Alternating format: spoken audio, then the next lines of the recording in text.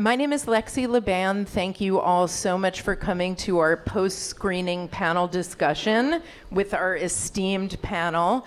I'm not going to say much, but um, I'm just really honored to be here. I want to thank Spark Arts for hosting us here today. in this really cozy and fabulous space. So we'll be like mishpucha here together, all huddled together. Um, and I want to just let you know we're filming here uh, the panel. So if people, if some people don't get in, um, we would love to broadcast out to the rest of the community and send the link to the video so everybody can see the panel discussion. And then we have Barack here doing still photos. So those will be posted on our Flickr page afterwards if you want to check them out. Um, I you know we all came from the film at the Castro, and this year it was our idea to follow the panel with um, a discussion about intersectionality in the Women's March, and I couldn't think of a better person for hosting this panel than my dear friend and colleague Ilana Kaufman. Um, I actually texted her from the Sundance Film Festival when I was watching this film and asked her to partner with me. She was on a train, I think, going from DC to I don't know where, New York. Um, going through a tunnel and saying, "Oh, it sounds great. Let me get back to you on the other side of the tunnel." So this panel has been in the in the works for a really long time, and I'm really going to turn it over to Ilana because she's an expert and she's going to introduce herself and the panelists, and then we will have time to open it up for questions at the end. I think what we've decided is people will write their questions on cards and, and then pass them to our volunteers. So without further ado, please let's welcome the director of the Jews of Color Field Building Initiative, Ilana Kaufman.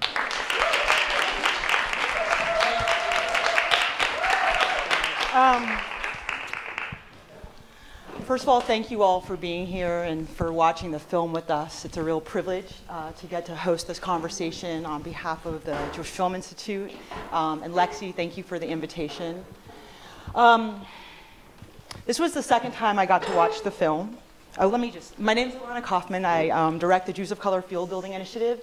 We are a national initiative and we focus on three areas. We run, um, our work is to advocate for and center the voices and experiences of Jews of color in the United States. There are 7.2 million Jews in the United States, of which well over 1 million are Jewish people of color. Right. Um, and so much of what we have going on in the United States about moving into a multiracial community is also happening in our Jewish community.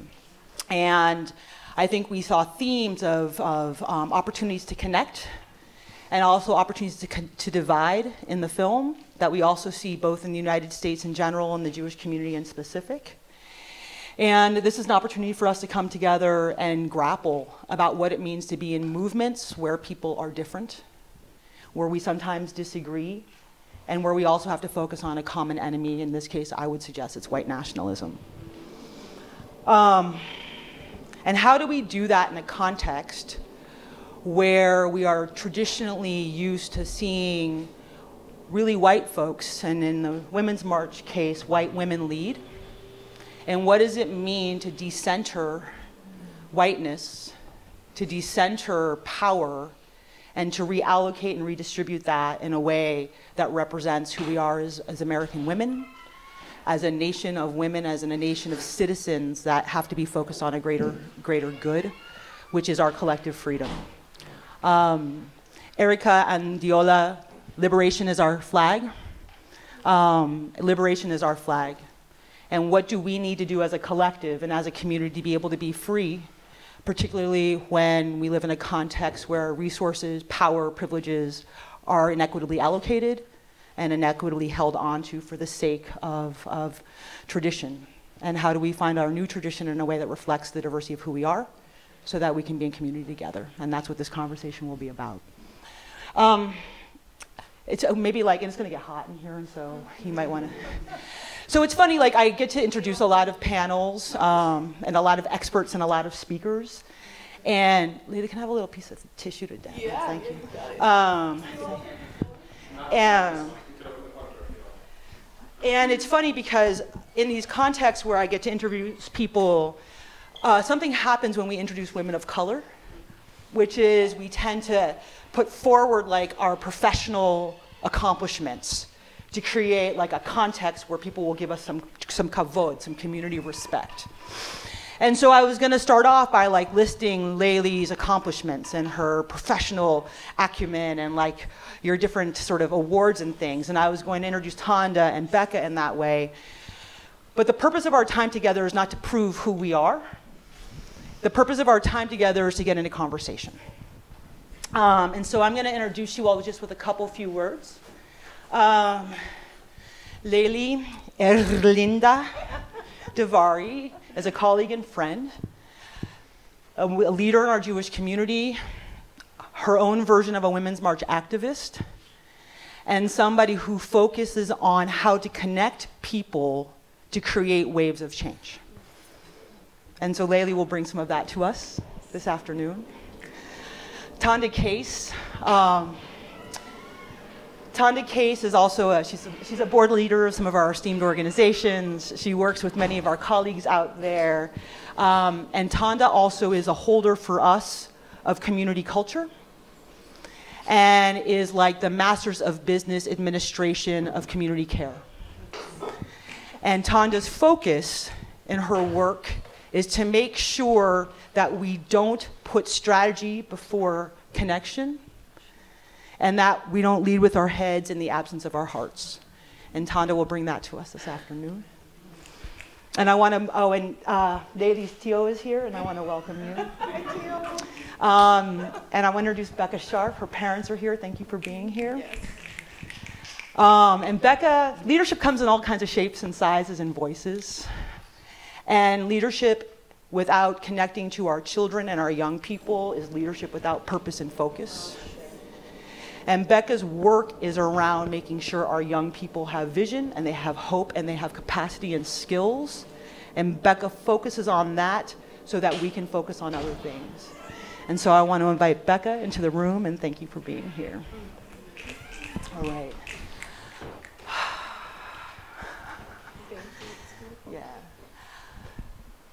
The Women's March brought up a lot of issues for us. And the one I want to sort of bring into the room is this concept of intersectionality. And I want to bring it to the room because I want to take away this idea that there's a competition.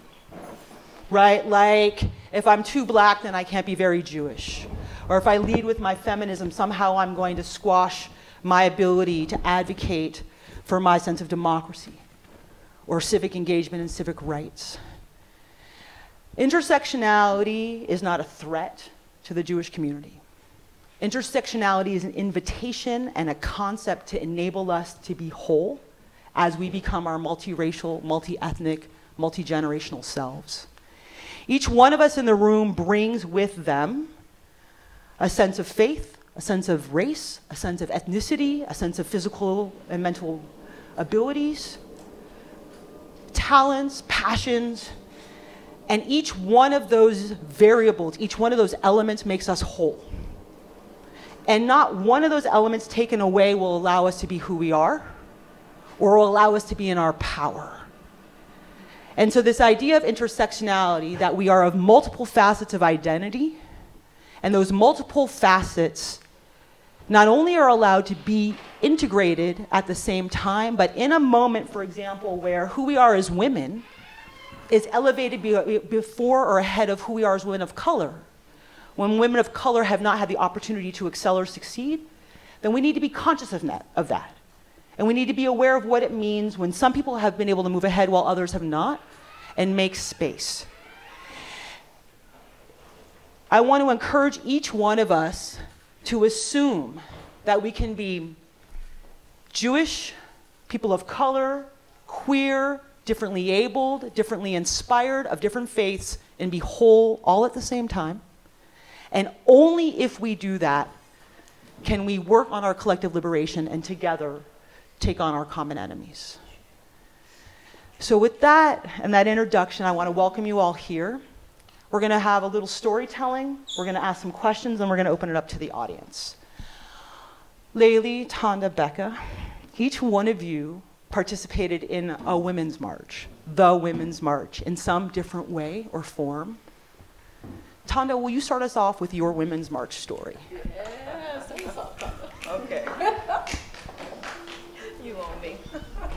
Okay, so um, I am not, sure, I am not necessarily one to go out and do a whole lot of marching. That's not my get down. Um, I, I, I work in the background primarily. I have always been much more comfortable working in the background. You need something done, I'll handle it. But I don't want to be in front. And over time, and uh, it, that's changed. And so I got a phone call from Yavilah McCoy, who heads Dimensions out of Boston. And she said, I need you. We're doing this work. It's the Women's March. And I said, oh no. Um, okay. And with all of the different things that had been, you know, said, in particular about Tamika Mallory, Linda Sarsour, women who, you know, are heading this beautiful, amazing march, I had to, I had to figure out where I fit in, not necessarily, it wasn't necessarily my Jewishness that was, in, you know, that I was grappling with this question through. It was more the idea that I did not necessarily feel that marches I don't want to say that they were not important because, of course, they are, but I just didn't feel like I had a place in that platform, if that, if that makes sense. Um, and so I actually went into deep meditation and prayer. Um, I fasted, I got very quiet, and in a moment of great um, I want to say anguish, I, I wound up um, hearing the voice of my grandmother, who my grandparents were um, activists in St. Louis, Missouri. So I was raised by activists. I watched my grandparents um, make great sacrifices for others. I remember times when people didn't have food, and my grandmother would get a phone call and the next thing I knew, she was calling all of her homies to say, you need to make this, make this, make this, make this, so that we can feed this particular family. So that those are the people I come from. And that's the kind of work I'm used to doing. And then I realized that my hands and my heart and my feet and my presence, that was another kind of prayer and another kind of doing and feeding. I was feeding souls, in particular, feeding my own because I didn't realize in that moment how hungry and starved I was to be in community, to be rallying, to hear my own voice in the voices, you know, it, along with the voices of others in a real powerful and meaningful way. And so this group of Jewish women of color came together and we were online we were making you know relationships we were reaching out to Ilana all over the country. There were women of color. I would get online at 2 a.m. and somebody else would be in the document. So, and then you're like, girl, what you doing up? Why you, what, you know, aren't you supposed to be in the bed? Don't you have to go to work tomorrow? So we were, you know, like this went on for the months in preparation. You know, the resources came, the people, and the people came. Everybody wanted to be a part of this. And so we led this, this group Jaywalk marching, Jewish women of color marching, hashtag Jaywalk marching. We led the DC Women's March, and it was unprecedented. And there was something about being in the sea of women and these voices and men and children and folks just rallying. And I looked to the left of me and I looked to the right of me, and there are all of these women that I have been in relationship with in so many, you know, for so many years in this deep and meaningful way, and we are doing the fight and doing the work of fighting for liberation. And it took my breath away. And I haven't been the same since. And so I see myself and my role in this work differently now because I was able to step out of what was comfortable for me and claim my power in a way that I hadn't necessarily thought to claim it before. Thank you. Thank you.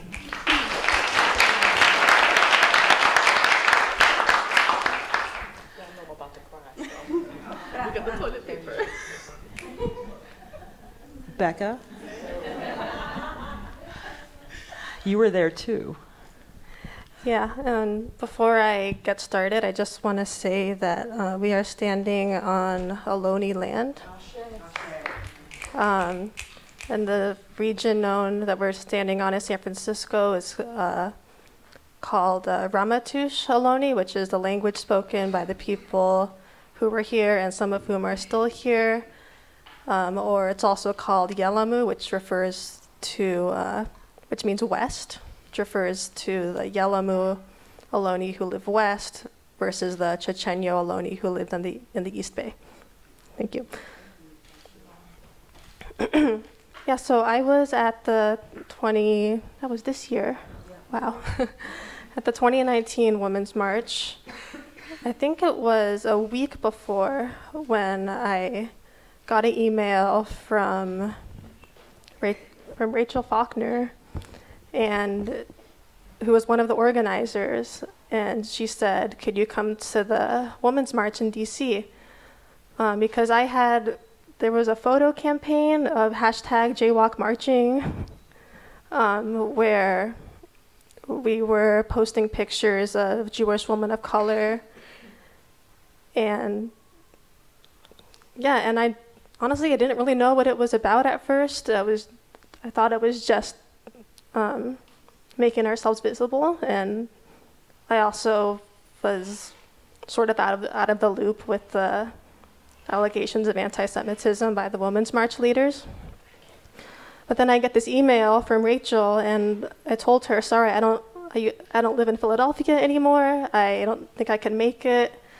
And then she said, "No, we'll we'll fund your flights." So, six days before the Women's March, I find out I'm going to DC. and I couldn't, I remember I couldn't request uh, work off in time, so I end up taking a red eye flight um, and fly in about two hours before the march started. I didn't get that much sleep. And I go to services. I say hi to some people I haven't seen in a long time. I say hi to Tonda and my good friend um, Rabbi Mira Rivera. Uh, she's the first Filipina Filipina American woman to be ordained at JTS in New York City. She led services, and then we start marching. And we're marching from, I forget what the church was called, where we had services, and we're marching down to where there's a huge crowd of people. And we have a security detail, and I'm wondering, why do we have a security detail?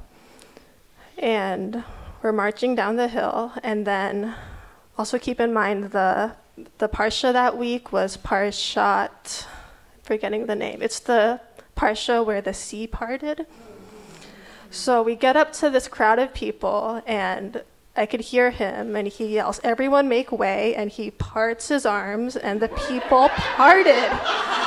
and I was like, and the banner was in front, and there were these three little girls, like this tall, with their signs, also pretty sleep deprived, along with me.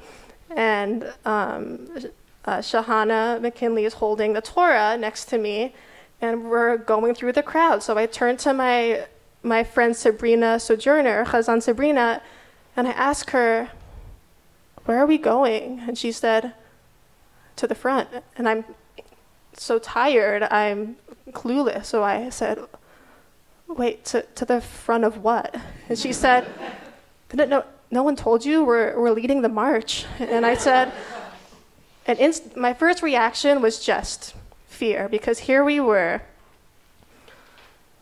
It must have been a good hundred of us, women of color, leading the march. There was women of color in the front and the white Jew and the white Jews in the back, and we were just so visible. I was wearing my talis.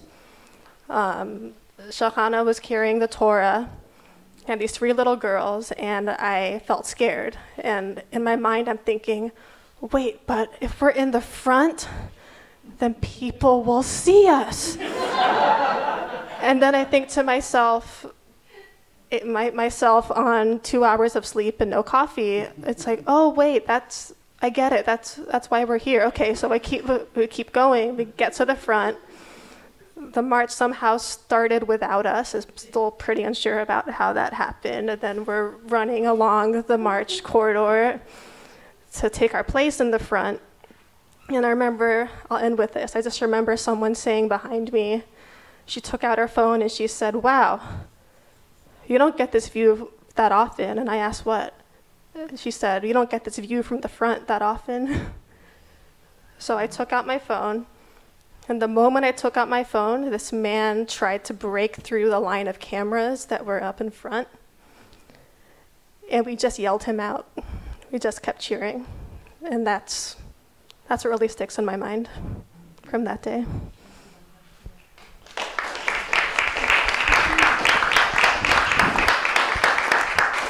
Do I need the mic? Leili.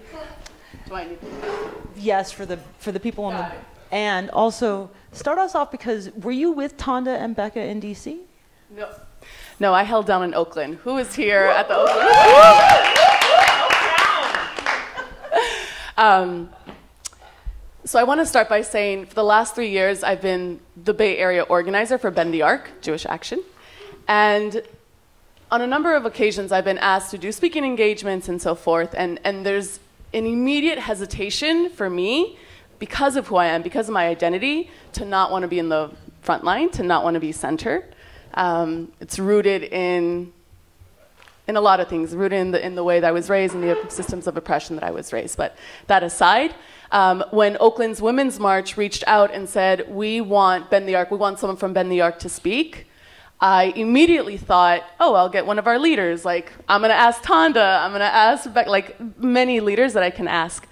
But I'm happy, but all my leaders were in DC, so I was literally left with no one other than white Jewish women. And I want to be really clear that I this was a moment where I hold deep, deep relationships with white Jewish women. They are part of my community, they are part of my personal life and professional life. And in this moment, I knew it was necessary for this one speaking engagement that a Jewish woman of color speak.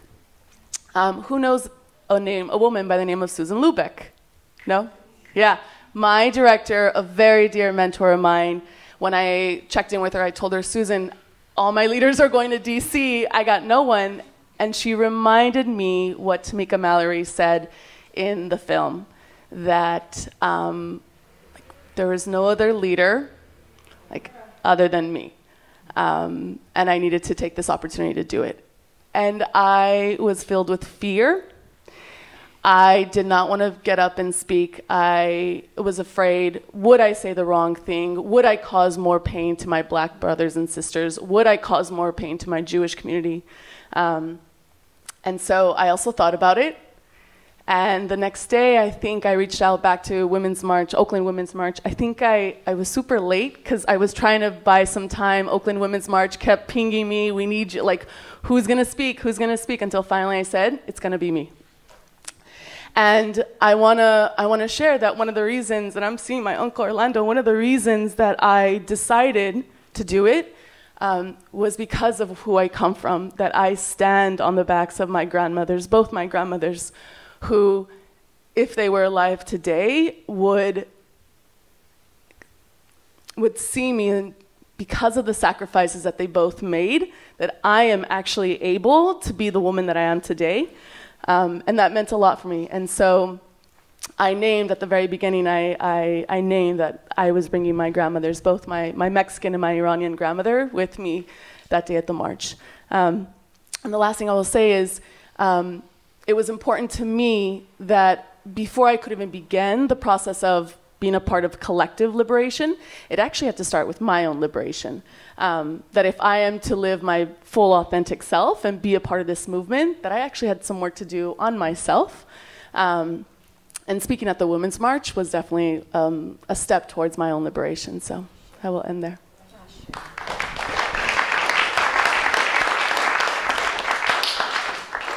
Thank you all. Um, but I'm just going to ask. Uh, Leili, when you were at the Women's March, you wore a kippah. Bekkah, I know that you recently were bat mitzvah, mazel tov, and you wore your talis. Tonda, you leaned Torah at my daughter's bat mitzvah. So how do you square your engagement with the Women's March with what we hear are perspectives of anti Semitism. Any one of you jump in? How do you square your own participation and engagement with the Women's March with the observations or perspectives of anti Semitism that we've heard? Um, I'll start. I, I, I find that I think it's such an interesting question because, you know, like I don't have sense enough to feel like I have to square anything. Do, do you know what I'm saying? Like I don't go through the process of hitting the places that are compartmentalized by the world that are my life. My life gets to be fluid. And so then when I choose to do a thing, I get to come in my full glory. So I don't feel that I have to, and a part of it I'm sure has to do with age, right? Like once you get past 55, you know, you can say what you want to say. And I advocate that everybody get past 55 so you can say what you want to say and do what you want to do, right? So like I, I just don't, I just didn't feel, you know, that, that idea of intersectionality for me is just my life.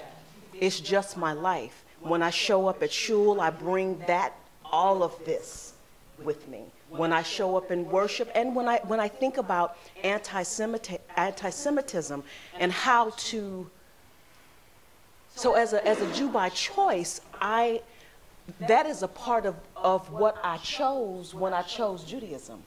I chose to take on the good, the bad, and the ugly. I expect to experience the good, the bad, and the ugly, right? And so my, I feel like my experience as um, as a black woman walking in this world through the 1960s and on through today has prepared me in so many ways to, to understand, fight against, place anti Semitism, and even like break it down. Like I try to break down things that happen and get very granular so that I have a real clear understanding of what I'm dealing with. It's not just the words I hear, and it's not just the act actions I either witness to, to or by others, but also as it lands on me. And I think it's just the good sense, the insanity of whatever it is, uh, the, the privilege, really, of being able to walk in this life liberated and free. And that is a powerful thing because then there's some, when you start having questions around anti black racism, anti Semitism, ageism, you know, mental health, whatever, you know, like mental health challenges, physical challenges, emotional challenges. I can take those things on in my full self. I don't have to compartmentalize.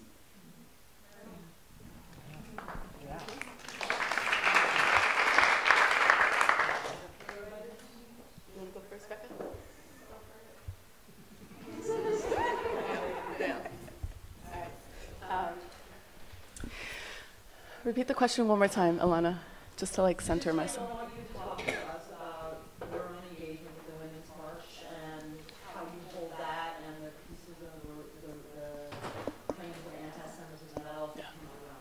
Okay, thank you. Um, so I'm going to start first by naming that for me, my understanding is that multiple truths can exist in harmony. Um, and so my identity being fully Mexican American, fully Iranian American, and Jewish don't negate each other in any way. Um, they exist fully in me at all times, and even through me. And so, um, what was happening for me is that my identity is once I was reading, all, like like so many of us reading online, um, the allegations, all of these identities within me were for the first time really coming into tension and, and not knowing I myself, not knowing how to how to respond. Um, and so the first thing for me, the first thing I needed to do um, was remind myself, like, what is urgent? What is most urgent? Um, go back to my values. And for me, the liberation that I need to focus on, like who I am, um, that black liberation comes first for me. Um, and so with that, with that ability to read through what was going, what was happening with the, with the allegations of the Women's March, um, and understand how my Chicana identity had not been at the forefront of black liberation, how my Iranian American identity had not been at the forefront of black liberation. That was not the work that I had prioritized. Um, and so just being aware of, of this actually then um, I was able to show up and have really, really difficult conversations within the Jewish community, primarily within the white Jewish community, of like why it was that much more necessary to stay in relationship um, and to not target Tamika Mallory. Um, something else I wanted to talk about was um, oh the Jewish woman of color. Of I was actually really surprised that the that the director didn't didn't highlight that at the very end we read that um, the steering committee for the National Women's March included three Jewish women. What the director didn't name was that two of them were black Jewish women. Um, and so I think that's important to name. The also like the Jewish women of color contingent that marched, this hundred women who were there, that was not highlighted at all, and I think that's a that's a missed opportunity as well for um, for the for the director. Um, I think I'll end there. Thanks.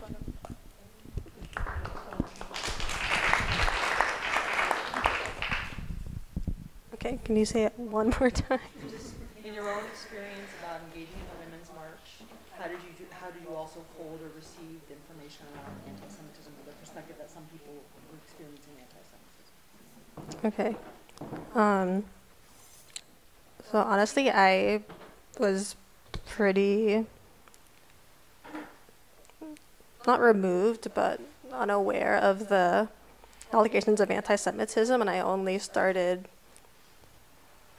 um, learning about it and learning what happened after the Women's March.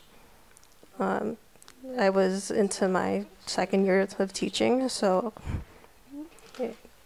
at the time, so yeah, overall, I, I just wasn't, I just wasn't aware at the time, and um, yeah, and I guess my feelings like even after I got back from the Women's March, um, and I learned about the allegations, and also read the Women's March, um, the statement denouncing anti-Semitism and racism. I feel that the part in the film with the with the rabbi in Brooklyn talking with talking with Tamika, talking with uh, Tamika, and her sharing the pain that she felt really res- really resonated with me.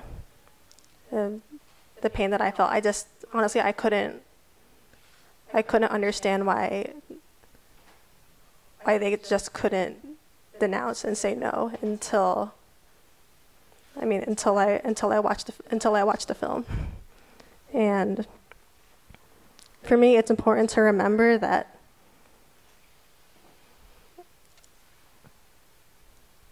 the other side, well,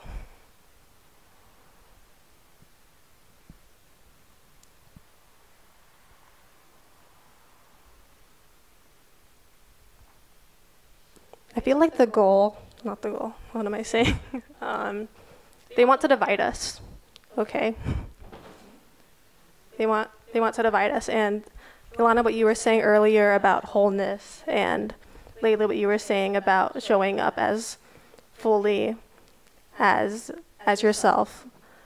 Um, my whole life, I have been told that I am half this and half that. I am half Chinese and half Jewish, or half Asian, or half white, and which has led me to never feel enough me never feel enough or never be enough for others. And so the Women's March has allowed me, has really empowered me to show up as my true self and be unapologetic about it. And just combat this combat their efforts to just divide to divide us by if we're Jewish or we're black or we're white and hold hold those all those identities at once. I forget where I I forget where I started. um, because when they divide us, as we saw from the 2016 election, when they when they divide us and and put and put it as us against them, they win. They've been winning, and I feel like that's why the Women's March is so important and living in contradiction and having those conversations between the rabbi and Tamika are so important and so important because we but El Pueblo Unido jamás será vencido. We heard throughout the whole film, the people united will never be divided. So I'll end with that.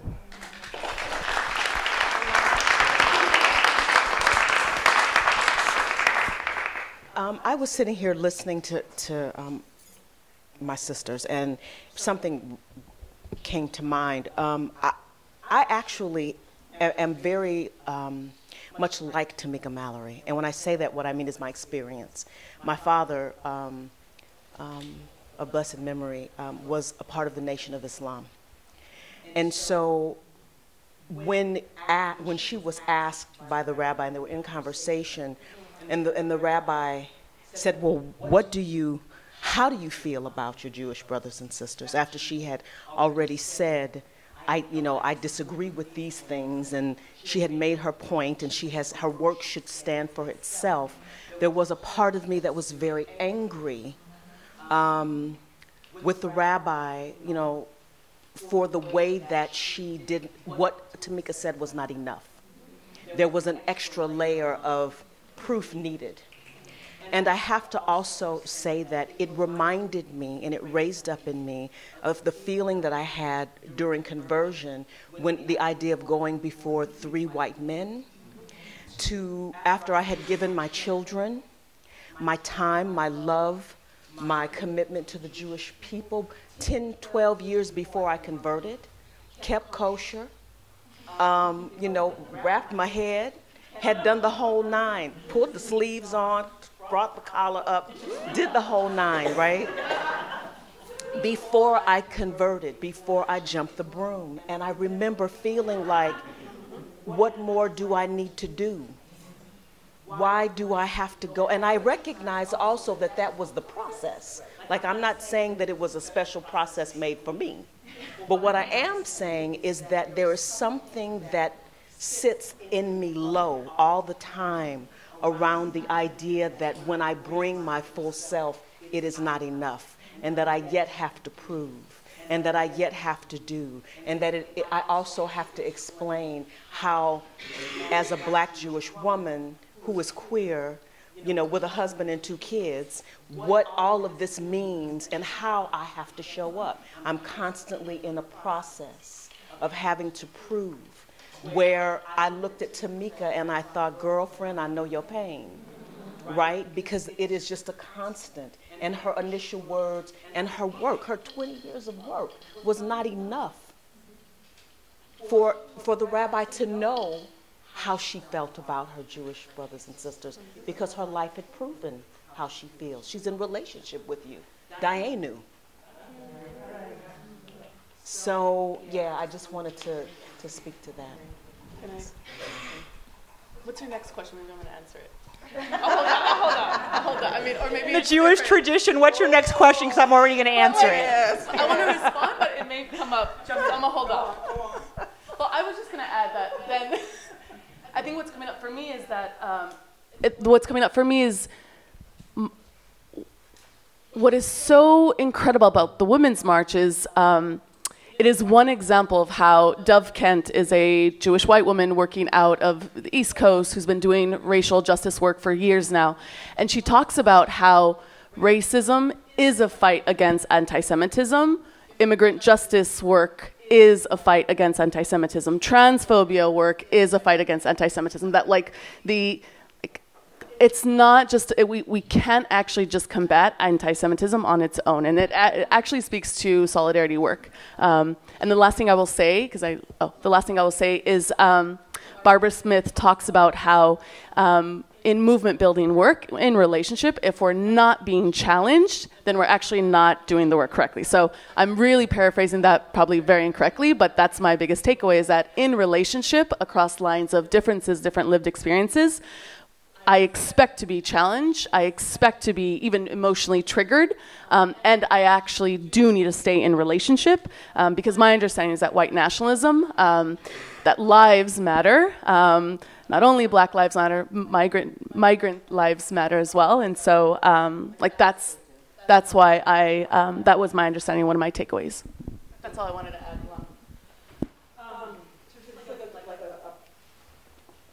Point of process. There are cards going around to start collect questions because there are going to be some of the same questions, and so I want to be able to group those.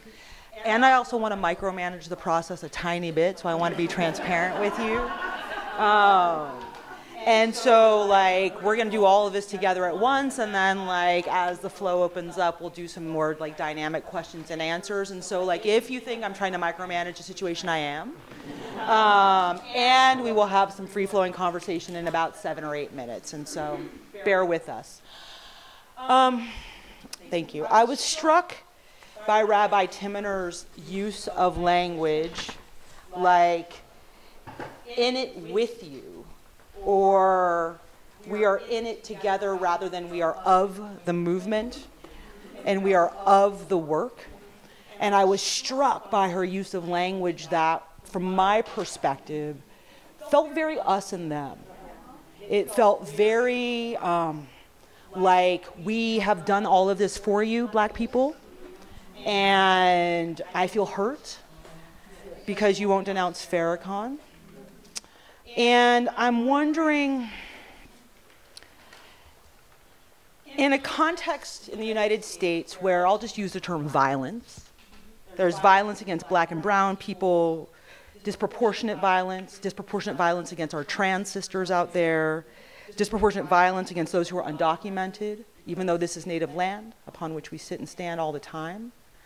So I'm struck by this context in which people are disproportionately affected by either the power or the absence thereof. And I'm wondering, in a context where even in our most, when we try to be in relationship and in alliance, it's very much us and them, or we do things for each other rather than we're part of something together. What is it, what are the elements of successful movement building? What does it take to be in relationship as people who are different, fighting for a common, a common good. What, talk to us about it.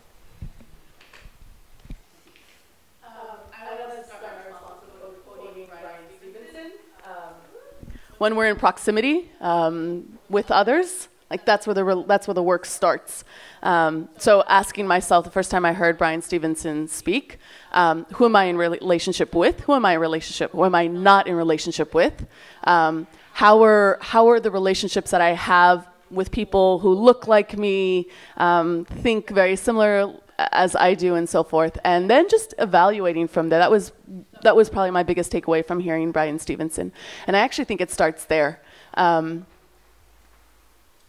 I think also part of the work that I've done on myself is my own um, anti oppression work, right? Everything that I understand understanding, getting a stronger sense of um, the, the way in which race um, plays out on a daily on a daily basis for myself and for others. Um, I think in, in having the more having confidence in being able to name out um, when isms are playing out either in life, work, etc.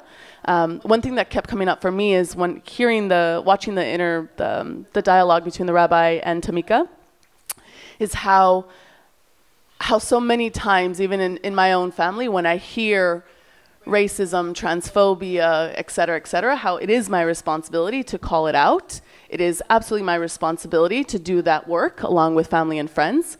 Um, and we each, let's not lie about. Like we each have that work to do in our own personal circles, um, and that's who I am held accountable to. Um, so yeah, I wanted to to share that. Yeah.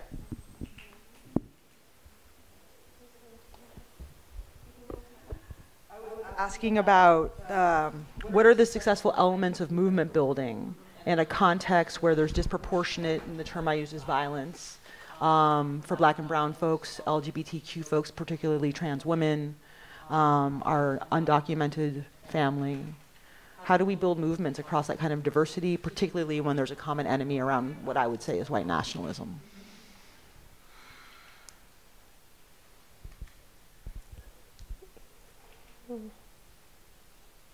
So, has anyone here heard about the actions that have taken place over the past few weeks, shutting down the ICE detention centers and um, Pelosi's office? Just that way, that way. And I think last Tuesday, um, over a thousand Jews shut down uh, the, the Department of Homeland Security for five hours. Um, so that that's a group called uh, Never Again Action.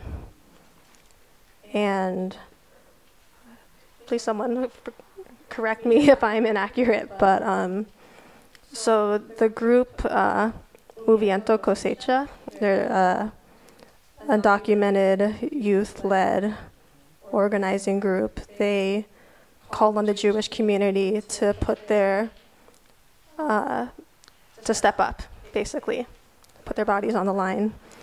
And the Jewish community basically said yes. and I think six days later, 36 Jews were arrested outside the Elizabethtown uh, deten- uh, detention center in, uh, in Elizabethtown, New Jersey. And there have been, I don't know the numbers, but there have been actions across the country uh, these past few weeks. And they've been gaining national attention. Um, I'm not the only one here is, who's heard of it. Um, and a few weeks ago, I'm, I was remembering, and I think they actually talked about this in the film. There was, there were a few frames of the of last year, the group of Jews who got arrested in D.C. I think that was 20, 2018. And one of one of my friends, Gray, he was he was there. He was one of the first. He was the first one arrested. He he went to D.C. and um, also he was the only black man. He was he was the first one arrested. Just putting that putting that out there. And he was. But I was talking to him about that, and he was telling me that before the Jews showed up and started the action, Dreamers had been at the Capitol all day and it wasn't until the Jews showed up, majority white or white passing, that the cameras came on and um, they started getting attention. And fast forward till today, when Movimiento Cosecha and uh, undocumented activists have been doing this work since the Obama administration, who deported thousands of families, has been doing this work already, and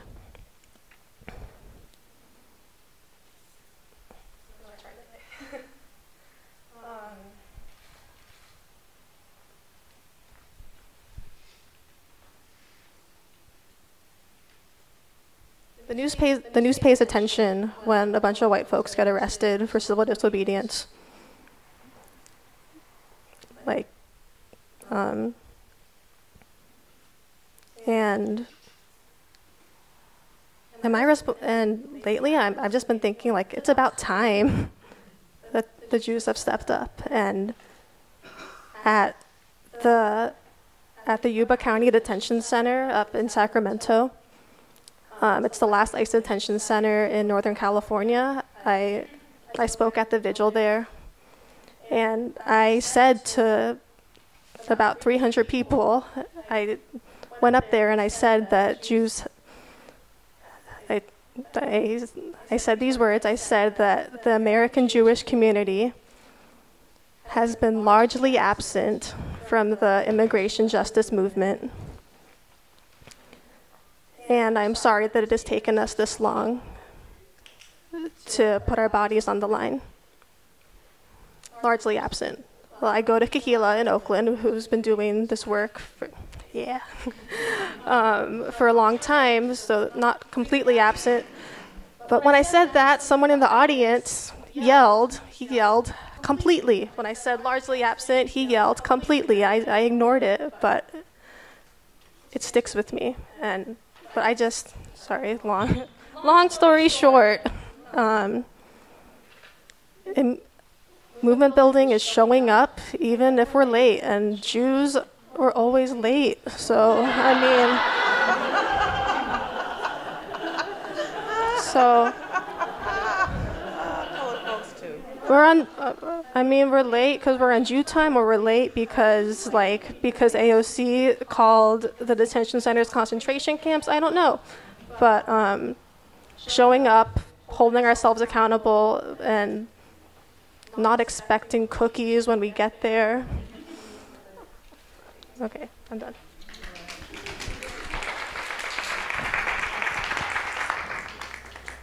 All right, y'all. Thanks for the questions flowing in. Um, I want to do like a little public service announcement, and then yeah, about whiteness. Um, and then we're going to talk a little bit about Farrakhan, and there's a bunch of questions about Farrakhan, why we have not, or individuals, or Tamika Mallory, or whomever has not just like clearly denounced Farrakhan, with like another set of parallel questions about to what extent would be denouncing Farrakhan similar or dissimilar to denouncing Israel vis-a-vis policies to, policies to Palestine. And so I want to say two things. First of all, um, about our use of the term whiteness. Um, depending on what text you're reading, Jews were largely not white in the United States until the GI Bill. And our whiteness, not my whiteness, my mother's whiteness, uh, has always been conditional upon who is black in the United States. And so, a very long time, people from Eastern Europe, Armenians, Greeks, Italians, Irish were not white, they were other. And not until other social factors related to race and upward mobility in the United States were created into policy were Jews given the opportunity to choose whiteness. And so, not only is whiteness for Jews who have two Ashkenazi parents or who have two European parents conditional, um, it is also a choice to engage in the privileges of whiteness in the United States. And so, we use that term fluidly, we use that term with nuance and context, and we don't use that term flippantly. And so, I just wanted to like qualify that because there's a bunch of questions about that. You're welcome. So then there's a whole pile of questions about not denouncing Farrakhan and would be denouncing Farrakhan. Would it be analogous to denouncing Bibi Netanyahu vis-a-vis how we think about Israel and Palestine? So what I want to say is we're not going to talk about Israel and Palestine today. That's a different panel. Um, and we need like six hours and a break and snacks. right? And wine. Um, but only in California. Um, hang on for just a second, please. Thank you. Um, but I do want to say, like, many of you who I've had the privilege of working, I'm a social scientist. I spend a lot of time thinking about our leaders in power, and we spend a lot of time navigating politics and sort of politics of denouncement. And I think we're all clear that I mean, I'm just going to say Louis Farrakhan is an anti-Semite. He's a misogynist. He's a hateful person. Um, as an African American, I actually don't think he has that much power. Um, in the black community, he's much more like the Queen of England um, than any other leader. Um, and white folks have given Louis Farrakhan all this power. And white folks have imbued in him this idea that his demonizing creates demons. And I would just suggest that his demonizing doesn't create demons the same way we think like he's going to say something and then a fleet of black people are going to go out and be anti Semitic. It just doesn't happen like that. Nevertheless, he's a figurehead and he spews foul anti Semitic hatred things. Okay? What's our responsibility as leaders to denounce the content versus the individual? And if we take on a policy of denouncing the individual, to what extent does that policy need to be consistent and parallel in our expression.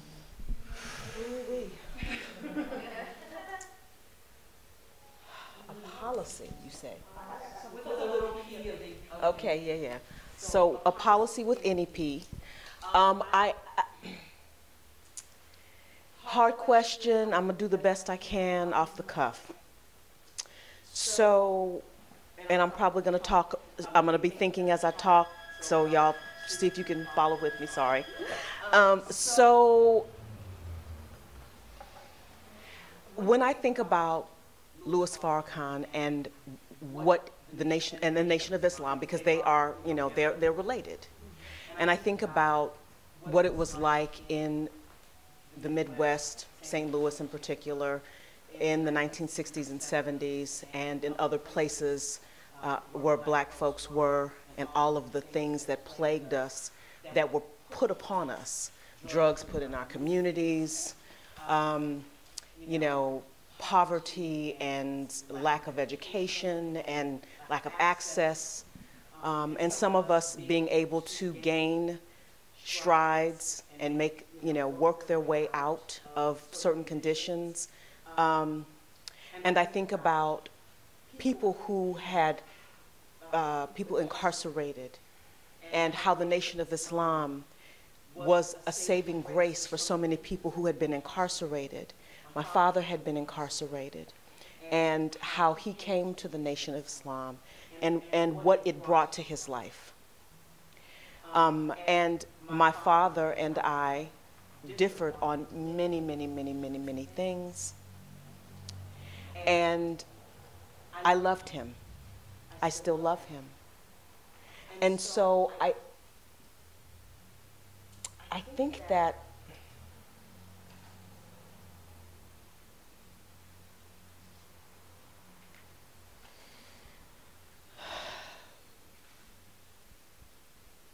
there is a part of me that says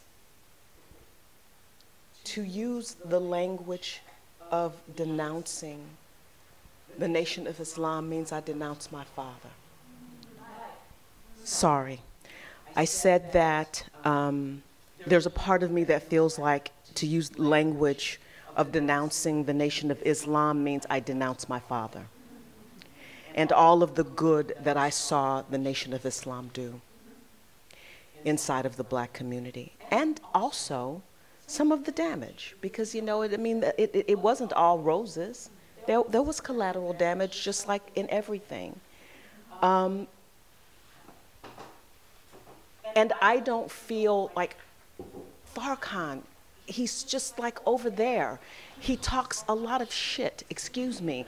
And it is, the, it is horrific and it is inhumane and you know and so I, I don't see them as the same thing but i see the connection and there's something about asking tamika mallory and i go back to her right because that's what's on my mind asking her to use the language of denouncing someone who was the person who came to her aid when her partner was murdered and the lack of humanity in that for me personally. Um, and so then I say, couldn't we have had a different ask? Or did we have to have an ask at all? Could it not have just been an acknowledgement that says, Tamika, baby, I'm so sorry for your suffering. And I understand that you can love what he and, and the Nation of Islam did for you how they protected you, how they took care of your family, how they gave you resources, how they comforted you when you were suffering. And I can also understand that you are not an anti Semite. And you, uh, you know, you are not uh, uh, um, a homophobe. Why is it that for why, why does that have to be the question? Like, how, how, how is it that we have to ask ourselves, how do these things live together when all of these other things live together? Because I know white Jewish people who have people in their families who hate black folks. Let's be clear. Who have a whole lot of money and voted against me and for their money. I know these people. I went to shul, broke bread. These are my friends and my family. And I never once thought to admonish them or think, question their relationship and their love for me because they did not stop that relative or call that rel- relative out or push that relative away. They have they break bread at Shabbat with that relative every Shabbat. Sometimes it's the mamas and the daddies and the grandparents and the uncles, and so I never would have considered asking them to not be in relationship because I understand that it is complex. And when you love your people and your people are rank, you know, they show up foul, what do you do? You, you call them on their foulness, correct? You talk to them and you constantly, it is a process of having someone who doesn't see another person's humanity. It is a process of taking the scales away from another person's eyes. Because really, they're the only ones that can do it anyway. You can facilitate and help them along the way, but if they're not willing to do this and pull the, the scales away themselves, it's nothing you can do about that. So the whole idea, I sorry, I went a long way to say that the whole idea of Farrakhan and the Nation of Islam, and you know, like at the Women's Mar- March, it was the fruit of Islam, the um, security uh, team of the Nation of Islam that ushered us to the front. They were front and center right there. Those brothers were bad and fine. they were bad and fine, and they ushered us, and they protected all of us. They didn't just protect, protect the black women, they protected white Jewish women. They protected anybody in our circle. But yes, they were really focused on protecting Tamika because they know the danger she's in constantly. So I don't know if I answered the question. Okay, okay, okay.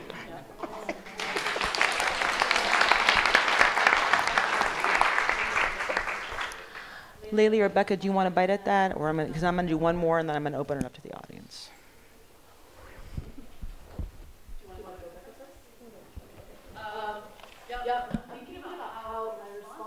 not one dimensional. Like it depends so much on context, like individual versus content. Like I can hold space that um, I'm looking at my notes because that I wasn't prepared for that question. That's a good one. Um, how I can hold Farrakhan and the work, the like the Black liberation work that the Nation of Islam has um, has done for so many years versus the content. Like I can hold that there's a difference between calling out him as an anti-Semitism, uh, anti-Semitic individual versus like the work that they've done. Where where I can't do that are with individuals such as Trump. Like there is no distinction, differentiating between individual and content um, for the reasons that I think you said, Ilana, where the content that white nationalists, neo Nazis, Trump are actually putting out incites and results in lives lost. Um, and also that, like the power then to instill policy all at all levels, like that is where the line for me, there's no distinction. I mean, I wonder to what extent, as a society, as a country, like we, I will speak from the I, like all of this is the first time I'm, I'm dealing with it, that I'm having to deal with the question of when do I draw the line between an individual and the content and versus the content.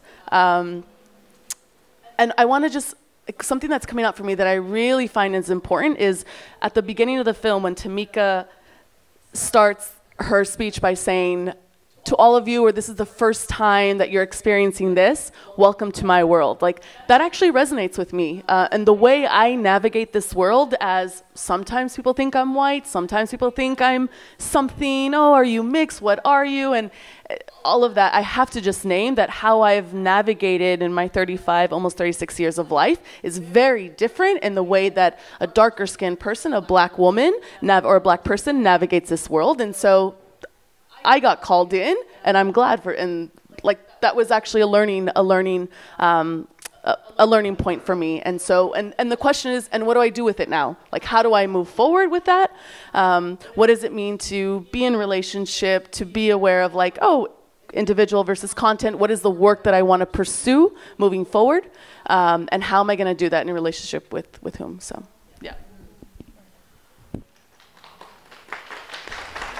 A last question, and then we'll take a couple from the audience. And there are two, a group of questions that are about how to be incredible allies across boundaries of difference, and also a group of questions that are like, I'm part of a multiracial Jewish family. Okay? and either we're white parents with kids of color or we're in a family that has multiracial people in it and what can we be doing to strengthen and support identity um, particularly from an ashkenazi jewish perspective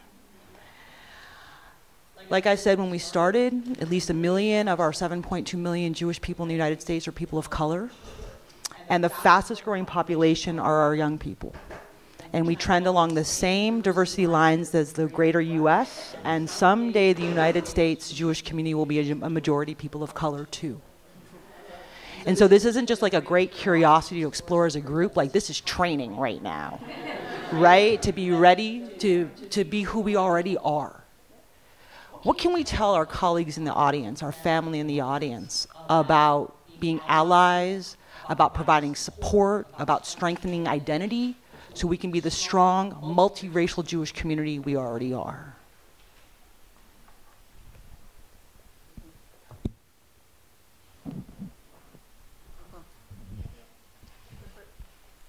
I think, Ilana, what you said at the end is that we already are. I, a lot of the times I hear um, um, Jewish institutions saying, "Oh, we need to be more inclusive and wel- well, be more welcoming towards these people or that people, or be more inclusive so that we welcome everyone." But just like you said, Jews of color, we've been here, and we've all and we've always been here, um, and something that I'm going to quote um, Yavilah McCoy. Uh, once offered me the very wise advice to, I quote, take up space, end quote. um,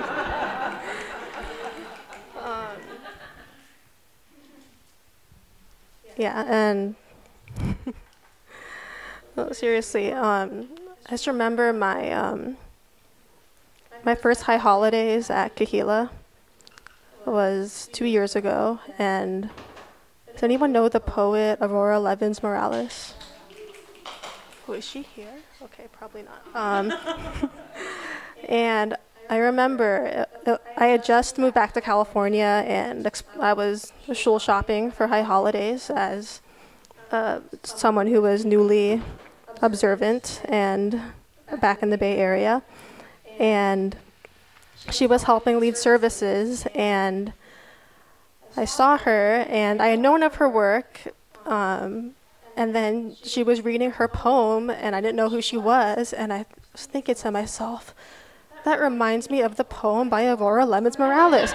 And and then it was Aurora Levins Morales and and when I came up for an aliyah later I saw she was wearing her tallis and um, she's Aurora Levins Morales. She's a Puerto Rican Puerto Rican Jew, Jew of color, and she got the achiote, which is a it's a face.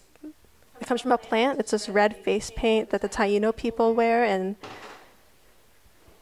I still remember it. She was wearing the achiote face paint with her tallis, and it was one of the most beautiful things I'd ever seen. And the and what I thought of was just of what Yavilah McCoy said: take up space and be visible. And um, at the Women's March, when we were all there, just so visible, so very scary, but he overcame it. Just so visible as Jewish women of color, where previously people, according to someone on Twitter, didn't know that we existed but that's just Twitter. Um,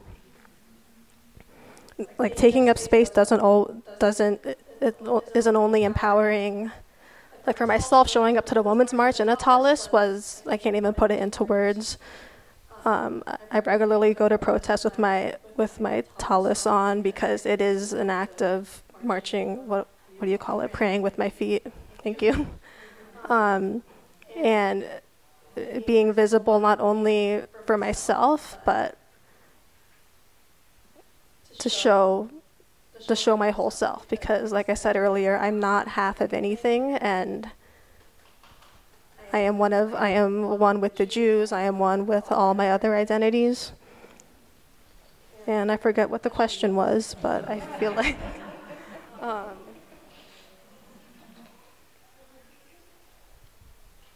I think I think that's it.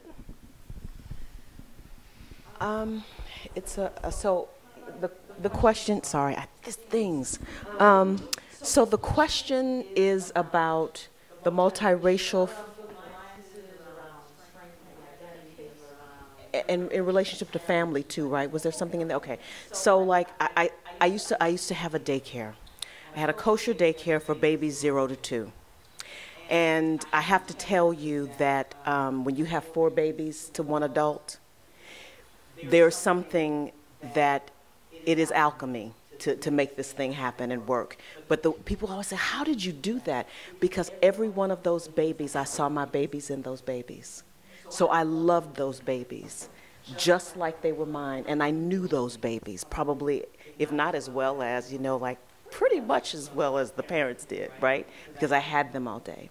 And so I went, I would do things like um, put them all in the, in the minivan, and you know if somebody wasn't feeling particularly well or one parent i remember at one point she was just missing her baby just missing her baby. So i piled all the babies in the car.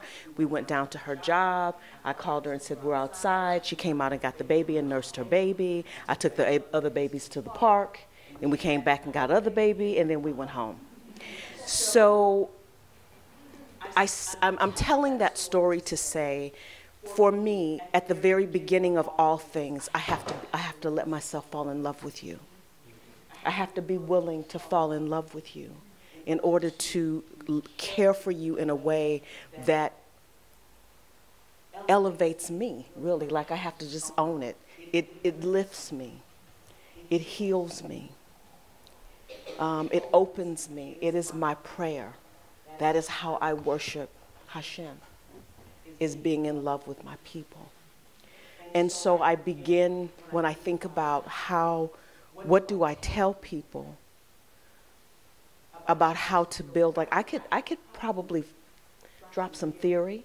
You know what I'm saying? Like I could probably go off into something like that, but that's not what's where where it starts for me. It starts for me one to one, looking in your face and seeing your beauty and wanting to be in love with you. And if you can do that with other people, if you are willing to fall in love with the people you don't even know, and be of service to the people you don't even know, and you might not even particularly like necessarily. You have no idea how many people I have said, mm, I ain't really sure about them.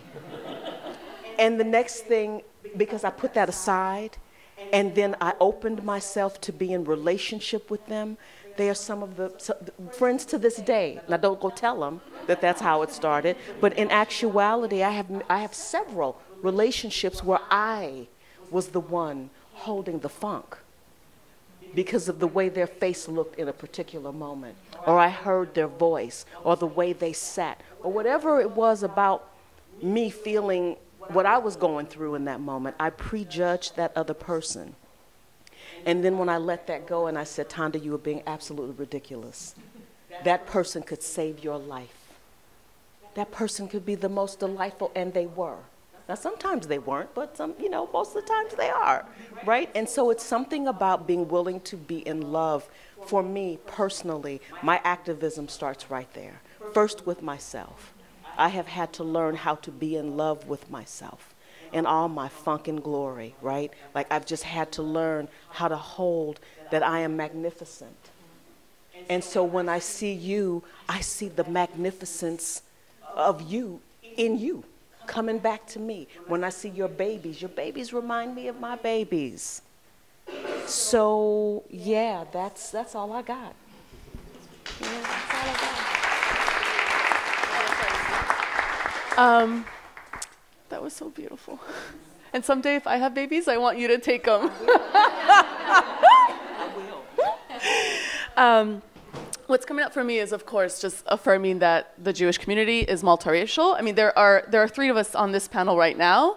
With even though we share the the identity of Jewish women of color, how different our experiences on a day to day basis, both within the Jewish community and um, and throughout. So just to affirm that, and. Um, the way I understand what's happening both in our country is, is a, either a ref, I don't know if it's a reflection of the Jewish community, but I mean, we're also, I grew up with the term minority. That's how, that's in school, that's what we were told because, of course, whiteness was centered. And so, since I didn't, I, I was not part of the dominant culture, the dominant language, well, yeah, the dominant culture, then I was other. Um, and I was grouped into a minority category and it took a really long time to understand what does that even mean. Um, so we're seeing it play out nationally when we have 11 million people, when really what's happening here, we have 11 million people who don't fit into this whiteness center, um, who are withheld their right to vote, to be a citizen, um, because in doing so, what does that mean? That means our, our voting, like the we're going to see such a shift in our um, in the results of elections. And of course white nationalism is a hold onto white political power. Make no mistake of that. Um, and so then the question for me is then what can i what is my piece of the pie? What is my piece of the of the puzzle in doing the work in the jewish community that can reflect outward? Um, and it actually means not centering whiteness in the jewish community. It means like um, what is the work that I need to do with other other Jews of color like myself? Um, how is it to center our needs and not just to be a, a in a white space or in a white Jewish organization have a two or three Jews of color on staff. That's not. It's not quite that. It's so much more of when.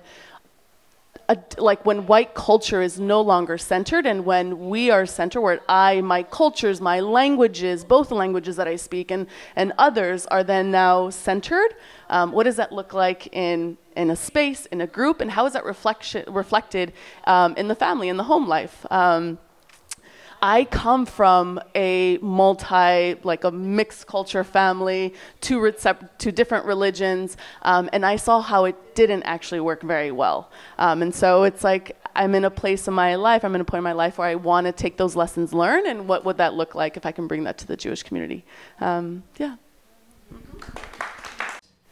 And I wrote down this question in the middle of the movie, which is How close have you been to losing your freedom? How close have you been to losing your freedom? And so, just to try to like bring some closure and sum up the conversation, and really thinking about the questions um, that came in around raising our young people to be free and to be in our identities. I think we have to go deep about how close each one of us is with losing our freedom and our own understanding of what those freedoms are. If we've ever lost a job and we didn't know how we were going to pay our next mortgage bill or our next rent bill, that's scary. When we lose our job and we have no health care, that's terrifying when we risk losing our mother because she might be deported, when we risk losing our sons or daughters because they might be murdered. And the film and this conversation gives us an opportunity to understand ourselves within a context of being in relationship to not only each other, but to the vulnerabilities of loss and losing each other and what the cost might be which is not only our interpersonal sense of self, our ability to be whole, our ability to be in our power so that we can be part of a movement that's about our collective liberation. But it's about our collective liberation and what it means to transcend this very difficult moment that requires all of us to be deeply engaged and entirely committed. And so while this film was an invitation to talk about Tamika Mallory, to talk about anti Semitism, it was really an invitation to look beyond Tamika Mallory and to look beyond allegations of anti Semitism, to look at what it means for us to come together as a collective, what it means for us to come together as a community, and to understand ourselves better so that when we can walk out the door, we can not only work together, but we can advocate on behalf of one another. And so I know that I can speak on behalf of Leili and Tonda and Bekkah when I say that we walk out of this door in community with all of you, with each other, and committed to our collective liberation because without it, none of us will be free. And each one of us deserves to be whole and to be free. And so, with that, I thank you and we thank you and go out in peace.